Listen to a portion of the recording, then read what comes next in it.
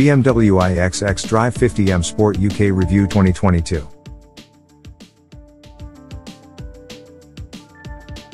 But before we start, please support us by pressing the like and subscribe buttons, so that we can continue to provide information about car and motorcycle news.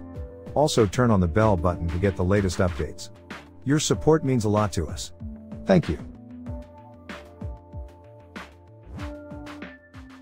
This is what will ultimately be the middle sitting of three available versions of the all-new, all-electric BMW iX, the firm's new zero-emissions luxury flagship model, and receptacle for its most advanced platform, connectivity and semi-autonomous driving technology, as well as its very latest electric propulsion tech.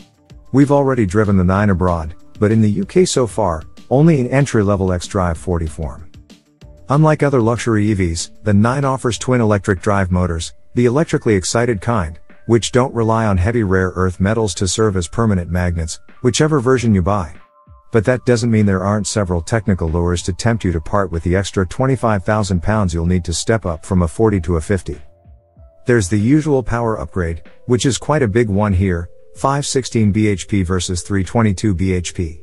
Then there's the bigger drive battery, 105 kilowatt hours usable capacity versus 71 kilowatt hours, and the associated improvement to usable range, the 50 is WLTP certified to put 120 miles more between charges than the 40. The 50 will also hit faster DC rapid charging speeds, 195 kilowatts versus 150 kilowatts.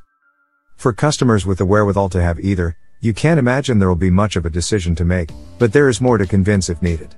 BMW fits multi-chamber air suspension and four-wheel, active ratio steering to iX 50 models as standard, whereas 40s only get those systems as cost options. Have M Sport trim and you'll get uprated brakes, too, which ought to come in handy when slowing what is a 2,510 kilograms car without anyone or anything aboard.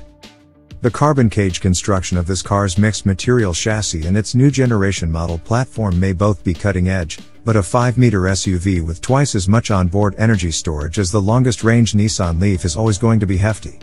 This is a heavy car. What's it like? It feels predictably big, tall and wide on the road, but surprisingly wieldy and balanced in its handling, too, and very ready to be driven quickly and keenly, should you want to. You might well not want to. This is a luxury car, after all, but it's one with a broader spread of dynamic capability than you may be prepared for.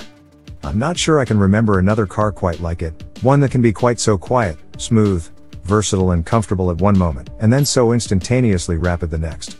One that can do it all. An Audi e-tron S might approach it, but the Tesla Model X doesn't even get close. BMW's controversial current design philosophy hits a higher gear with this car, and lots of people have had lots to say about the iX styling as a result. That may even be considered a measure of the car's success back at BMW HQ. We know the rationale well enough by now. This car's intended to look confident, characterful and arresting rather than beautiful, and to these eyes, in the metal rather than pictures, it does. You can make anything look confident and characterful, after all, but consistently designing beautiful SUVs, crossovers and compact MPVs of awkward proportions is near enough impossible. So BMW is aiming instead for cars so esoteric, bold and distinctive that they seem to fully own whatever effect they have on you, and they leave a lasting impression. Without any sense of irony, BMW describes this as a car that's been designed deliberately from the inside out. That grille has actually been redubbed an intelligence panel in the press material. This car has 5 cameras, 5 radar transceivers and 12 ultrasonic sensors around its exterior, and is alleged to be ready for the enabling of level 3 autonomous driving over the air, at an additional user subscription cost, needless to say, when it becomes legally allowable. At any rate, the styling didn't offend me in the raw nearly as much as other recent BMW designs have. And the longer I looked at the iX, the more I saw the story of the development of the modern BMW i brand being retold in its design. This is a bit like a supersized BMW i3, you know. It's a simplistic comparison, but just look. It has the pinched C-pillar, the scalloped lower flanks and the clamshell bonnet, and while it's not quite as high-waisted or cabin forwards as the electric Supermini, otherwise its proportions aren't too different. On the inside, the echoes are clearer still.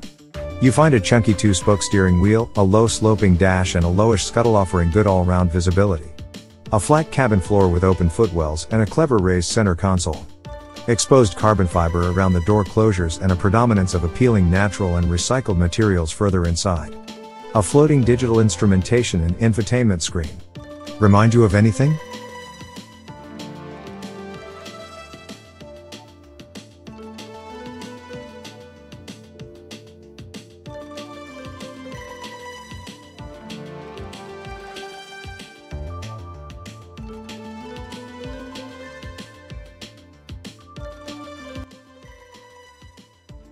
Thanks for watching. Drop a like. Leave a comment. And don't forget to subscribe to watch more videos like this.